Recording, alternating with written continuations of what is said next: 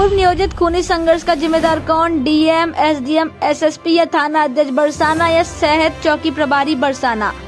विश्व प्रसिद्ध धर्मनगरी बरसाना में भूमाफियाओं द्वारा फर्जी कागजों के बल पर संपत्ति को हड़पने का गिरोह सक्रिय है।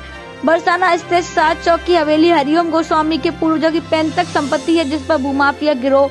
भरत सिंह भगवान सिंह उर्फ़ डैनी राजेंद्र, पुत्र निरंजन परमवीर, पुत्र निरंजन आकाश, पुत्र भगवान सिंह दैनिक सुनीता पति भगवान सिंह नीतूपति राजेंद्र पूर्व नियोजित षड्यंत्र के तहत सात चौक की हवेली पर अवैध कब्जा कर रहे थे, जिसका विरोध करने आए, जिसका विरोध करने आए हरिओम के छोटे भाई लाठी डंडा सरिया से विरोध करने पर लहूलुहान कर दिया घटना की हरिओम को सूचना लगने पर हरिओम गोस्वामी अपनी माता के साथ मौके पर पहुँचे तो उन पर प्राण घातक हमला किया, जबकि इस संबंध में डीएम, एसएसपी अधिकारी, उप जिलाधिकारी को अनेकों बार शिकायती पत्र दे चुका है। हार कर हरिओम द्वारा उप जिलाधिकारी न्यायालय में उप संपत्ति को करने हेतु आवेदन दिया।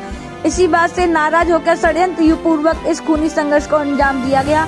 थाना अध्यक्ष बरसाना प्रमोद कुमार द्वारा कुर्ती के आवेदन पर अभी तक कोई अच्छा न्यायालय में नहीं भेजी गई।